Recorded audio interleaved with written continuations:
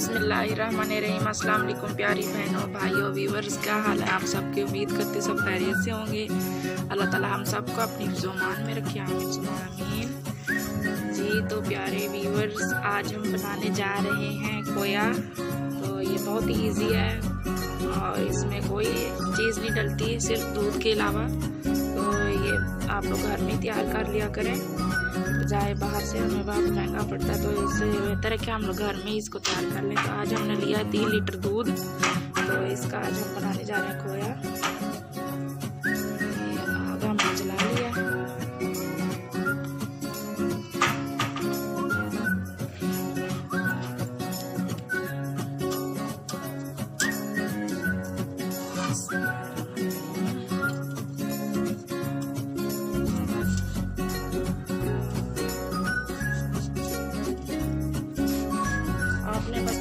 हिलाते रहना है और साथ साथ आग भी इसके नीचे हीट जो है ना वो तेज़ रखनी है आँच। तो ये बन जाएगा बहुत जल्दी। और अगर हम लोग चम्मच हिलाना छोड़ देंगे तो ये नीचे से लगना शुरू हो जाता है तो इस बात में खास ये दूध का उबाल आना शुरू हो चुका है तो हम साथ साथ चम्मच ही हिलाते रहें और रोकना नहीं है। जी तो विवर ये देखें तीन लीटर था तो अब ये देखिए तकरीबन ये आधा लीटर जो है ना वो रेडी का और ये बहुत ही थिक हो चुका है। और ये माशाल्लाह से ये देखिए अब खोया बनना शुरू हो चुका है।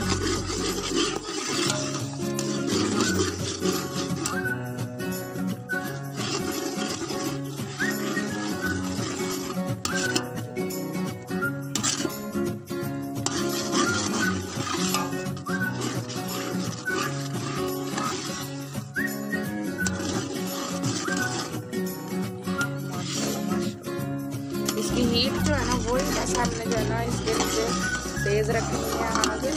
क्योंकि अगर हम हीट लो रखेंगे तो इसका कलर जो है ना वो चेंज हो जाएगा। तो इस तरह से ये असल जो कलर होता है, वो भी आ जाएगा।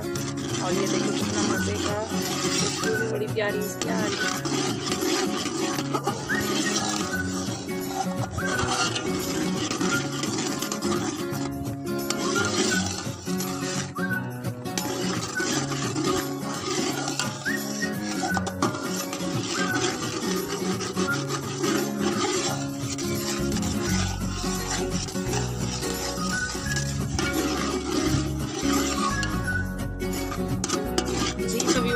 खोया हमारा रेडी हो चुका है, माशाल्लाह से ये देखें।